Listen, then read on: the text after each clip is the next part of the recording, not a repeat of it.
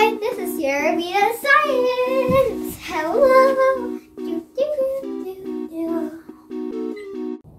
Hi, I'm Sierra B, and this is Vita Science.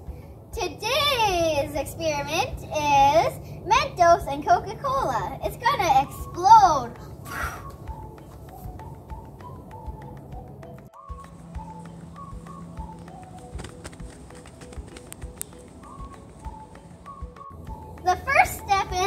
Put this whole pack of Mentos mints into a test tube.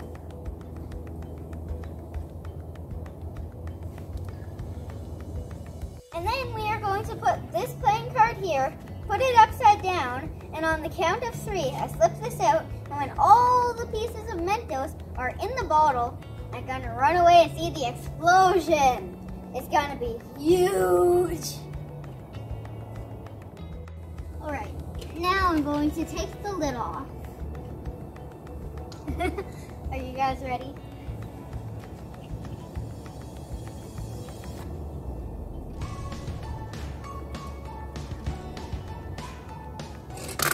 Oh no! Oh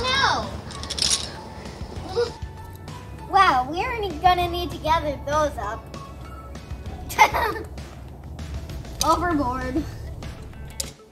Alright. This is hard.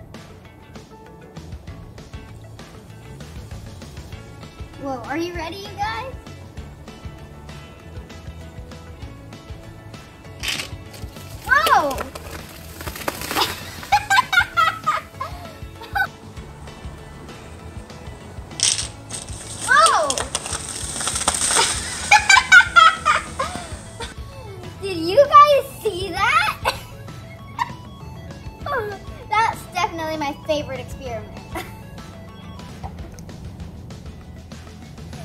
Definitely my favorite experiment.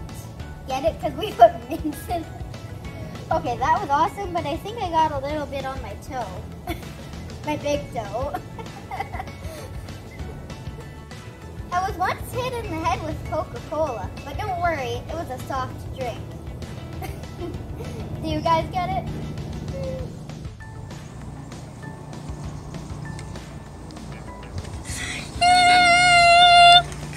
I used an ace.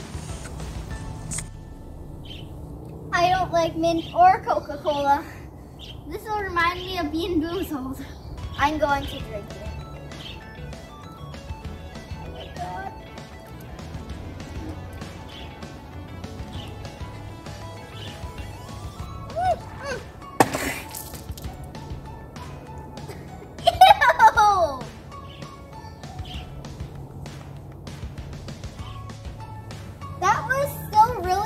But it wasn't like as bad as the Bean Boozled spoiled milk. I still wouldn't recommend tasting it. The science behind that experiment was that the mints are so heavy that they sink to the bottom of the Coke and it reacts, causing carbon dioxide bubbles. And it explodes.